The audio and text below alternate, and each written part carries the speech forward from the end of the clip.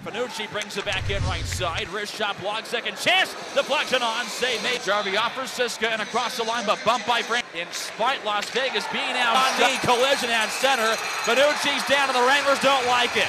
Naring's going right after Brad Gora. And the two drop the mids right back at the Las Vegas bench. Centering Ben Connolly, one-timer save made by Fuller. Fullerton. Now Zuck got slugged by Tassoni to the front. Right side, but picked up by Rich Zuck. Who's puck for a second and able to move one out to Sony as he's now tied up and the gloves are dropped behind the play with him and Molly. Whistle blown. Andrew McKenzie with the finish. His second goal of the season with 4.24 to go in the opening period. See Seaback, one of the best passers in the league, finding that weak side defenseman sneaking down. McKenzie gets his head up and puts right over the blocker. In Ace's zone. Deflecting puck nearing, centering, Fanucci return it in front deflection, and Tassoni scores.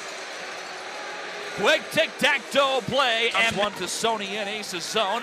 Deflecting puck nearing, centering, Fanucci return it in front deflection, and Tassoni scores. Quick tic-tac exchange. Cook eye slot, backdoor Fanucci, right corner collects. Sent up by Cook, a one-timer save, rebound, they score! To the front of the net, it was Chad Naring. Parker inside the line. To Siska, left corner, centering ring. Jarvie, shot, he scores! Siska, left corner, centering ring. Jarvie, shot, he scores!